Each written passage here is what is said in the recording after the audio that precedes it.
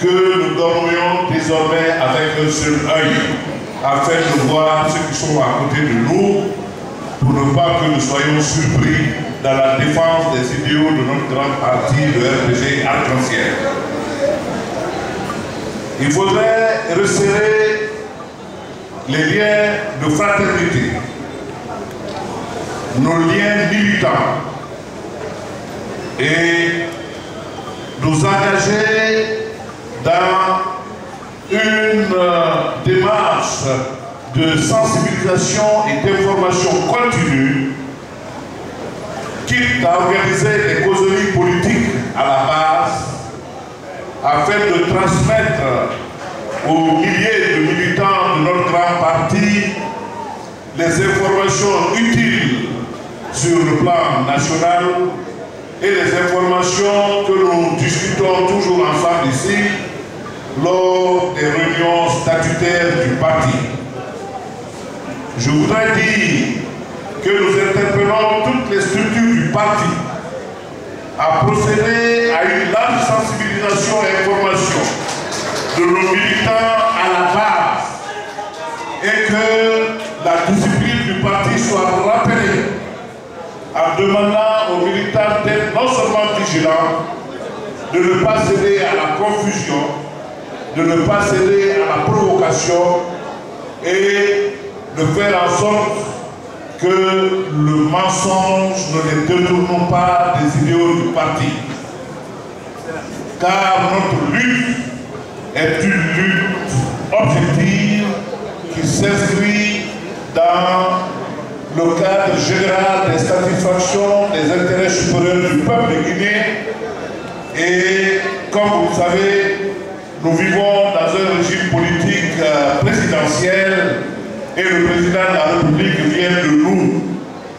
C'est vous qui l'avez présenté au peuple de Guinée et le peuple de Guinée l'a deux fois plébiscité en accordant la majorité de ses voix à son programme de société pour lequel nous devrons nous battre bec et ongle pour le triomphe et la réalisation des objectifs de développement contenus dans ce projet de société.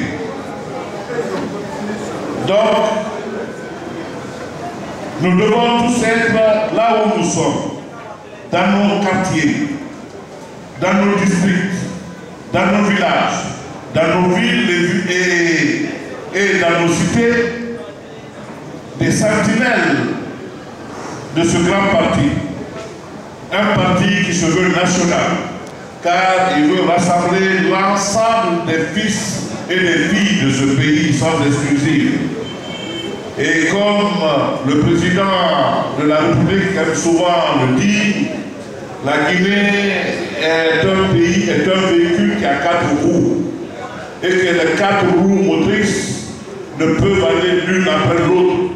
Elles vont ensemble. Ce qui fait que toutes les ethnies, toutes les composantes de la Guinée doivent, sous l'appellation de la République, sous les attributs de la République et de la nation guinéenne, se fondent dans la convivialité, dans la fraternité, dans l'amour et la tolérance pour tendre vers le développement et la satisfaction de nos besoins légitimes. Et c'est cela le credo du RPG arc-en-ciel, et c'est à cela que nous vous rappelons pour que ceux qui veulent nous détourner de ces idéaux et de, nos, et de ces objectifs sachent que nous ne lâcherons pas le chemin du parti et que la lutte que nous avons engagée devra être une lutte permanente et continue car elle est juste et noble. Nous avons fini, chers camarades, les élections communales. Avant les élections communales, il n'y a pas eu ce que nous n'avons pas entendu. Des discussions, des troubles à l'ordre public, des crises. Il y a eu le dialogue politique qui a accouché d'un consensus sur un document qu'on a appelé le code électoral.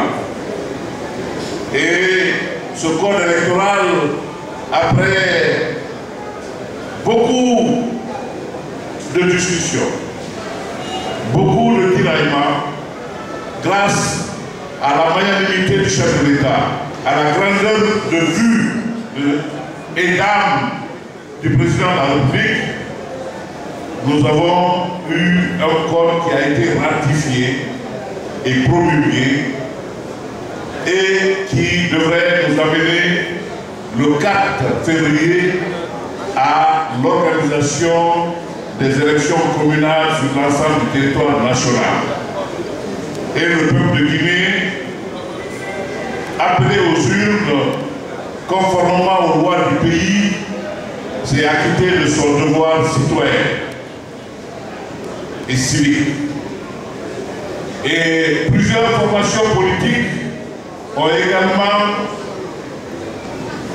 au vu de ce code électoral, accepté de concourir pour solliciter vos suffrages dans le cadre de l'élection communale.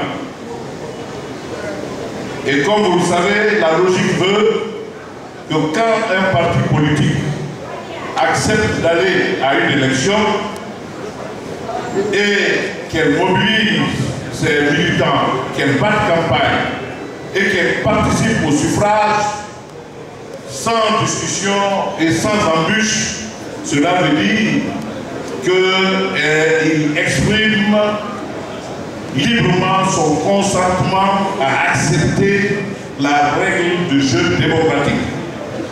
Cela veut dire qu'il accepte les règles de jeu qui régissent cette compétition électorale. Donc, en principe, après épuisement de tout ce processus, lorsque les résultats sont donnés conformément à ce code et conformément à ce qui a été défendu par chacune des parties au moment de l'élaboration de ce code, alors, s'il vous plaît, la logique veut que chacun se soumette à ce que tu as exigé, que cela soit et que tu acceptes les conséquences de droit qui en découlent. Et si tel est le cas, le RPG Arc-en-Ciel en tant que parti fondamentalement républicain et légaliste demande à tous nos militants sur l'ensemble du territoire de se préparer à élire, à passer à cette deuxième phase de l'élection de l'exécutif communal pour que nos conseillers élus soient à la tête des mairies sur la base d'une négociation que vous pourrez mener librement. Et la consigne du parti, nous voulons travailler avec tous les partis politiques qui ont eu des conseillers sur la base du respect mutuel des principes patriotiques et démocratiques, mais aussi et surtout sur la base de la loyauté au service de la nation, sans exclusif, car nous savons que le développement au niveau de la base, au niveau de la commune, obéit au principe de gestion d'équipe. Une seule personne ne pourra jamais à elle seule diriger une commune, qu'elle soit commune urbaine ou commune rurale. Et c'est pour cette raison que cette loi a été prise à la proportionnelle. C'est pour permettre à tous les partis, quel que soit le nombre de conseils élus, quel que soit euh, la représentativité nationale de ce parti, d'avoir des hommes et des femmes qui peuvent être des porte-voix au niveau de la base dans la gestion des affaires de la communauté. C'est une gestion de proximité, donc veuillez vraiment accepter d'ouvrir la porte et vos cœurs à tous ceux qui veulent venir avec les conseillers élus du RPG Arc-en-Ciel.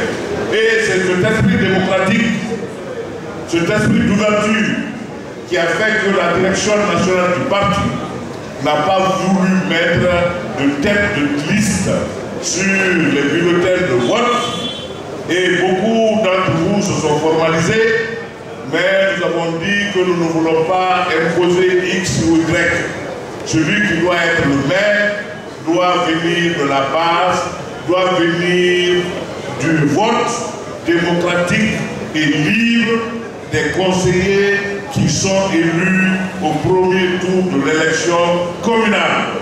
Donc nous n'avons pas de choix à imposer à qui que ce soit, nous n'avons pas de maire à imposer à qui que ce soit.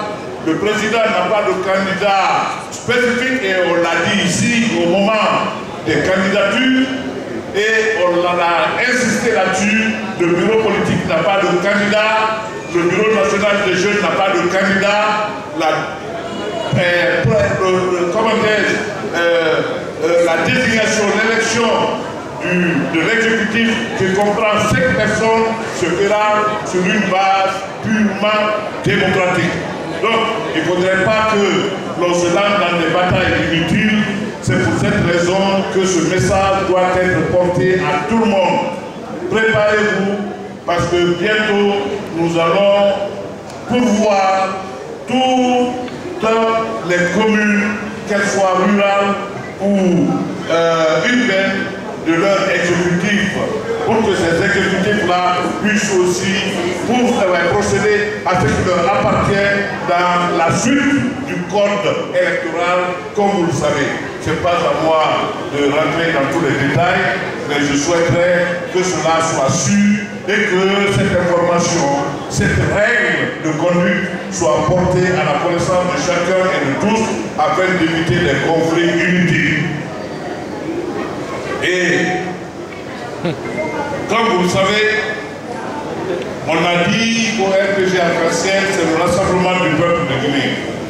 Ce qui veut dire que nous avons toujours accepté de partager le pouvoir avec tous les Guinéens qui ont le désir ardent de servir le peuple de Guinée. Pas ceux qui veulent se servir. Ceux qui veulent se servir ne trouveront pas leur place au sein du RPG Arc-en-Ciel mais ceux qui veulent se battre et être des fidèles serviteurs du peuple sont les bienvenus. Et c'est pour cette raison que nous allons engager des négociations avec toutes les formations politiques qui ont les mêmes idéaux et les mêmes valeurs démocratiques que nous représentons, que le parti là, est sur le terrain. Je souhaite